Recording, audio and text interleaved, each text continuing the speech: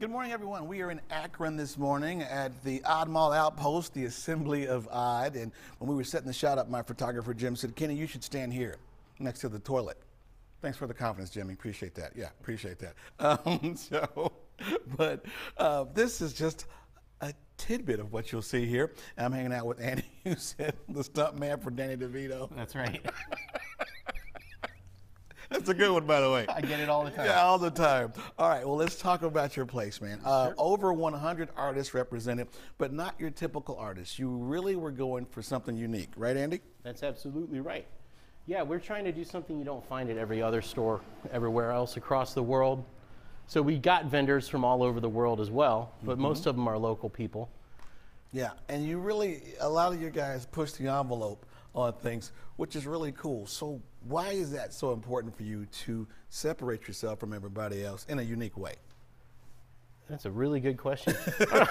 I've just always been drawn to stuff that's different from everything else. Yeah. When I first started out as an illustrator, I kind of came up with the philosophy that there's a million people out there that can draw stuff better than I can. Right. So if I'm going to stand out, I got to do something different than they're doing. Not necessarily better than them, just different from them. Right. I've kind of carried that philosophy through everything I do. It's, kinda cool. working out. Thank yeah. Um, have you created like a nice community? Because uh, the artists were coming and everybody's smiling, and they're like, "Oh, hey, hey, hey!" There's a, a total comfort zone, but there's always laughter. you know, at the risk of hyperbole, i it's the best community. Yeah, It is. We have just the most incredible group of not just artists.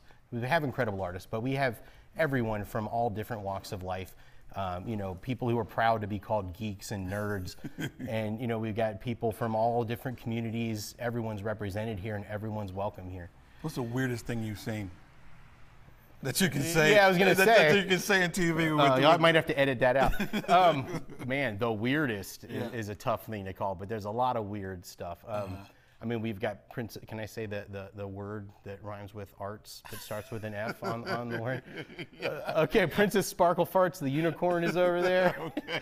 We got uh, you you just named Turd Boy up there on Yes, the wall, yeah, yeah. right? Um, there's amazing stuff. I love this bear here. His name is the Duke. the Duke. Yeah, Excellent. handmade. All right. Well, we're here at the Assembly of Odd, Gosh. the Odd, the Oddmall, Odd Mall Outpost. right here in Akron. When we come back, we're gonna take a little look at our um, all the really cool artists we have here. yeah, and there's Kenny's Look toilet. that Thank you so much, toilet.